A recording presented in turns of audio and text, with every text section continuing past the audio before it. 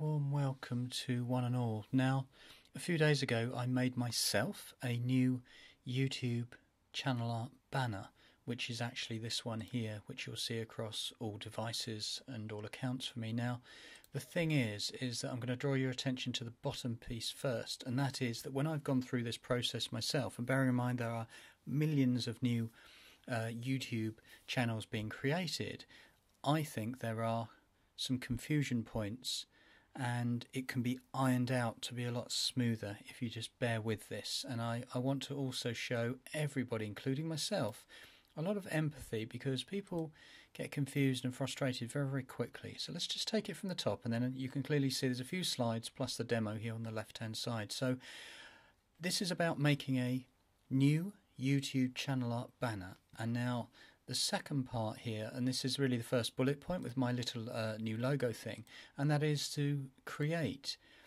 this edit channel art. There is a support page I'm about to show you, and it's quite a lot of reading, so this video might help you.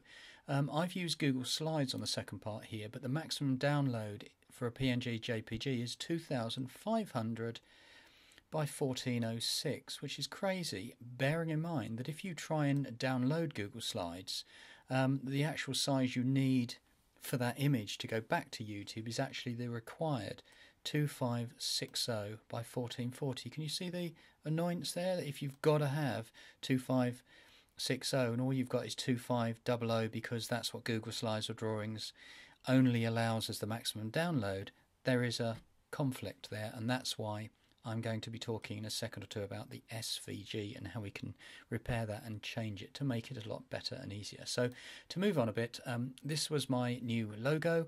Uh, call it what you want. It is, of course, self-explanatory. I like the wheel of learning and the simplified play button in the triangles. The point of it is that if we design something and then we lay over our template, which you may have seen before, and I'll show you the link of where you can get it from, then if the image, the YouTube banner is shown on a TV, it's got to be 2560 by 1440.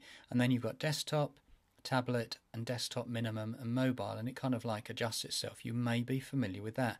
The center part is the one. Now, what I found is that when I first did it, it was a little bit too big, so I adjusted it to make it a little bit smaller and on the template it looks like that. Now uh, I think at this stage I think what I'd need to do is just show you a couple of things on the theory and that is that um, not to go into it but this is the support page which clearly gives you help on a computer which is what I'm on right now, and it gives you image sizes. So this is where you can download this stuff, like the channel art templates, and get this, um, well, grey template. There is also an idea, look, of 2560, but if you go on to Android or iPhone iPad, then that maximum size changes, not at 2560, but it actually goes down a little bit to 2048 by 1152.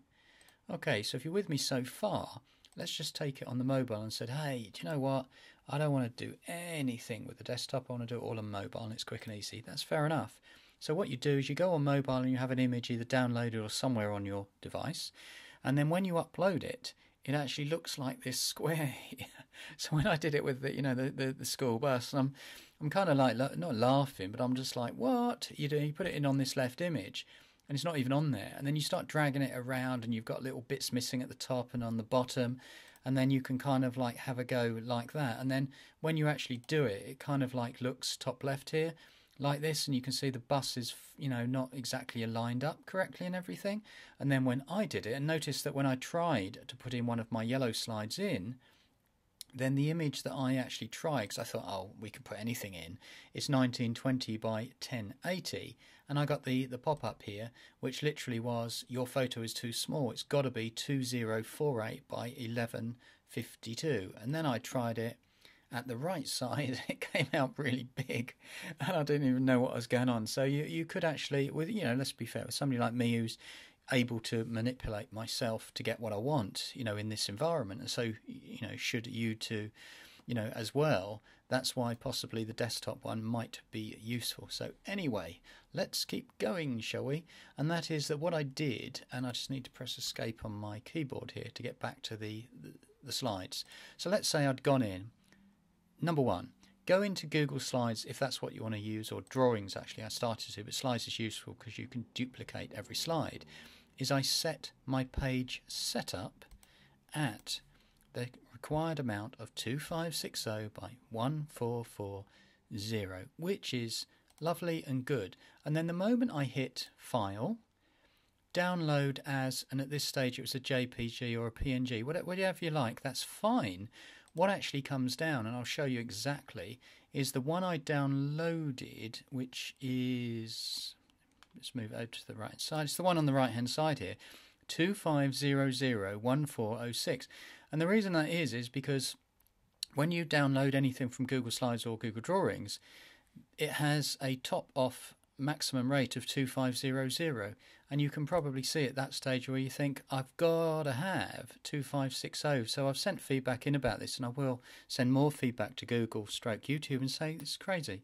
You've got a product here which is Google Slides yet you can only give a maximum of 2500 and you need a 2560 sure you can use Photoshop but people don't have Photoshop or any other thing that they have to pay for sometimes. Let's keep it you know in one happy Google login. So how do we get over this problem? The problem is this.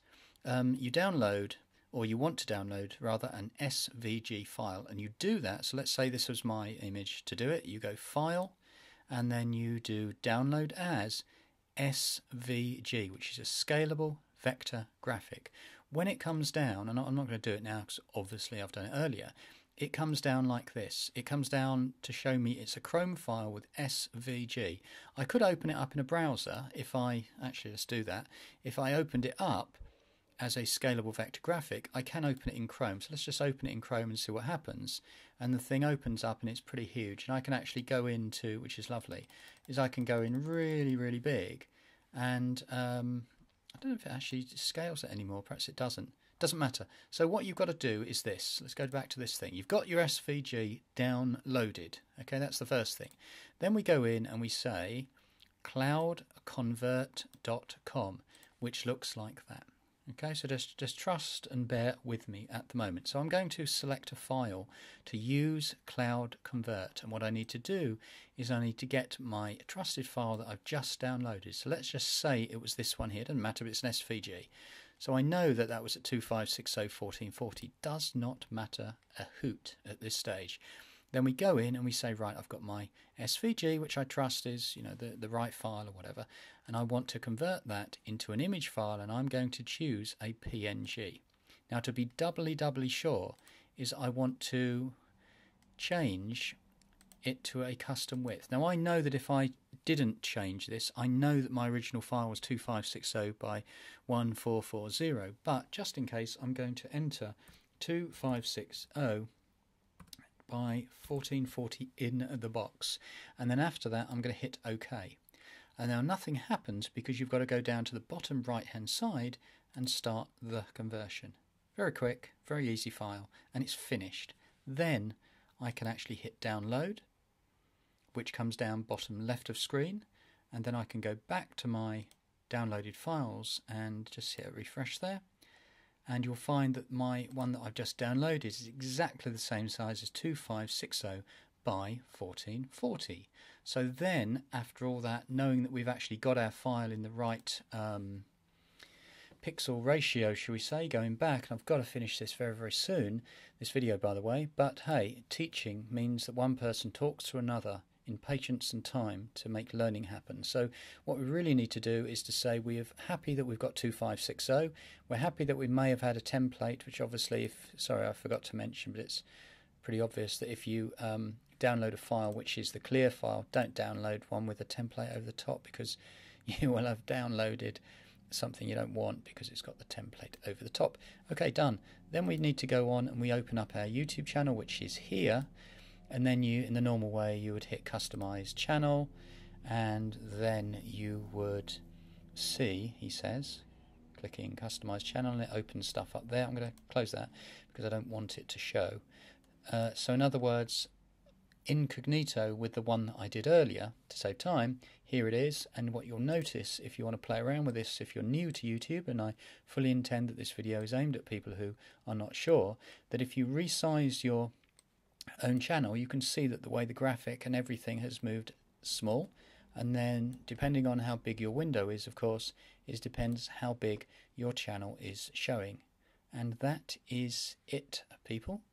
And so I hope that this is 10 minutes have been well spent to get you out of, um, shall we say, a little bit of trouble from navigating your way through making maybe a channel art banner for the very, very first time, paying attention to these ratios, maybe SVGs, and I'll put the links in the description box. For me, Mike Downes at the Mike Downes page, I am very much using this new um, logo, banner, call it what you want, which uh, is nothing more than circle triangle made in Google Slides, Google Drawings. The wheel of learning and the triangulation of the triangle to simulate play. I just want it to be seen across all borders, from children all the way to adults, for everywhere else. So have a lovely afternoon, evening, and thank you very much.